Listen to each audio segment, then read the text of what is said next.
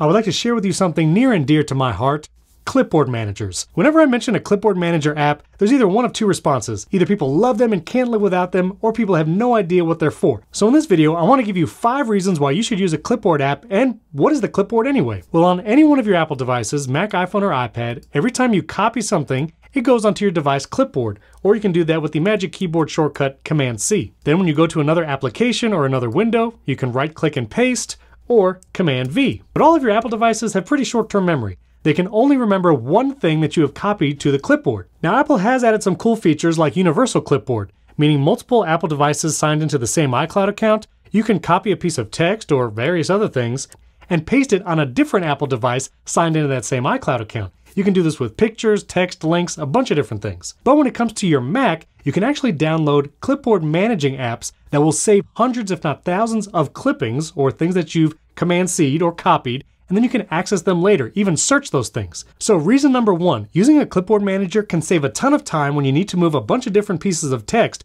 from one window or app to another. For instance, I have the five reasons why you need to use a clipboard app. Now I could copy number one, go over here to this other document, and then paste it, and then go back, copy two, paste over here, but that is pretty tedious. This is where a clipboard manager app comes in. My personal favorite clipboard manager app is called Pastebot. It lives up here in the menu bar, I can click it, and see all the things that I've recently copied to my clipboard. There are other clipboard managers like Paste, which lives here in the menu bar and then has everything down here. They format links to look nice and even have images that you've copied to your clipboard. Paste is also available in the Setapp suite of applications, so you can get it there if you already have a subscription, but I prefer Pastebot. I'll put links to both in the video description. Now if I need to move multiple pieces of text, I'll copy one, select two, hit Command C to copy two, then three, then four, then five, go up to Pastebot, and now I can select any of the things that I recently pasted. And if you jump into the settings of something like Pastebot, you can even set up keyboard shortcuts that allow you to quickly paste individual numbered clippings from your pasteboard. Right here I have Option Command 1, and Option Command 1 will copy the most recent thing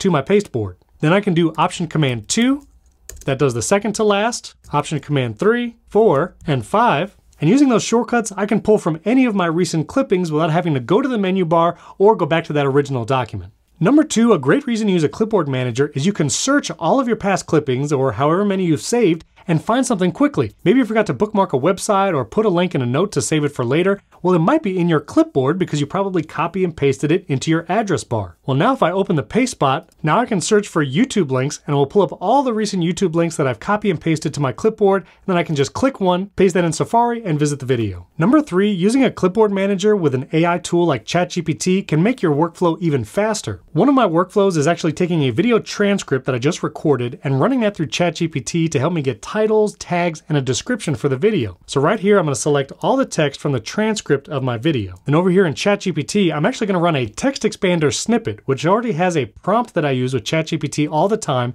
and then will include what I had on my clipboard. My text expander shortcut is just semicolon VGPT for Video GPT. You'll see it just pasted the entire transcript plus this prompt. Write an SEO optimized YouTube video title and one sentence description based on this video transcript.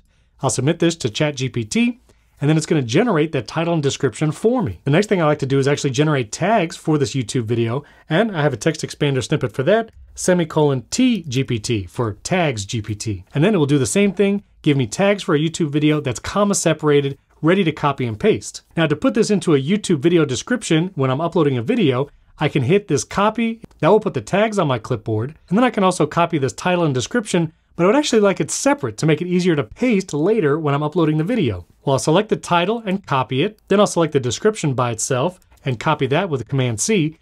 And now in my Pastebot, I actually have the title of the video separate, the description of the video, and all those tags already on my clipboard. If you didn't have a clipboard manager app, you'd have to go back and forth from your ChatGPT window to YouTube. This just saves a bunch of time. Now I'll open Pastebot, get the title for this video, go down here in the description. Again, I could use the keyboard shortcuts for this, but I'll just paste the description there. Then I can go down to tags, open Pastebot one more time, and then do the comma separated list of tags. Boom, all done, all on my clipboard manager. Number four, you can avoid data loss by using a clipboard manager. You ever been filling out a form on the website? Maybe you're applying for a job or a school, and there's a bunch of form fields. You have to type in long answers, but you didn't save any of that text in a note, and then suddenly the website crashed or your power went out, and now all those answers that you filled out in the form are totally gone.